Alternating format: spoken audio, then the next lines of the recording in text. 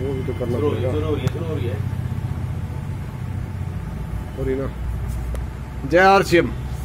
ये इश्ताक जी को कंपनी की तरफ़ से जो है कंसिस्टेंसी बोनस का फ्री सामान मिला है और ये अपना फ्री सामान ले रहे हैं। ये इश्ताक जी है अपना जो है यहाँ से अपना पूरा सामान ले करके और रखे हुए हैं निकाल के तो इनका बिल हो गया है।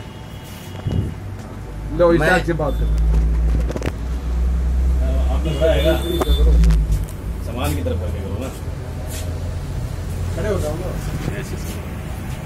बोलो कि मेरे को सवाल नहीं मिला मैं इश्तियाक अहमद ये जनवरी से मैं कंस्टेंसी प्लान को शुरू किया था उसके बाद मई में कंपनी ने प्लान चेंज कर दिया।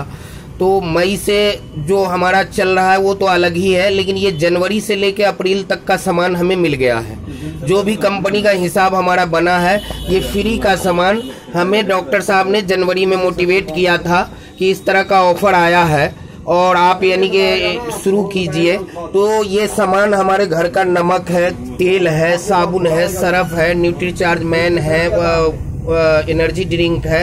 तमाम प्रोडक्ट हमें फ्री में मिला है। तो साथियों, कहीं ना कहीं ट्रेडिशनल मार्केट में आप पूरी ज़िंदगी अगर सामान लेते रहेंगे, कोई भी 10 से 20 रुपए का सामान आपको फ्री नहीं देगा। और आरसीएम साल में अब दो बार सामान फ्री देने जा रही है और दे रही है। तो कहीं ना कहीं आप ट्रेडिशनल मार्केट को छोड़कर डायरेक्ट सेलिंग आरसीएम बिज़नेस में आए और अपने जानकारों और रिश्तेदारों को बताएँ कि आरसीएम में कहीं ना कहीं फ्री सामान मिलता है। ये हमारे डॉक्टर साहब हैं इन्होंने ही मुझे बताया था जनवरी में और हमने कंपनी पे बिलीव किया और बिलीव करके अपना यानी कि कंस्टेंसी प्लान को शुरू किया और जिसके वजह से आज मुझे ये सारा सामान मेरे घर के लिए फ्री मिला है।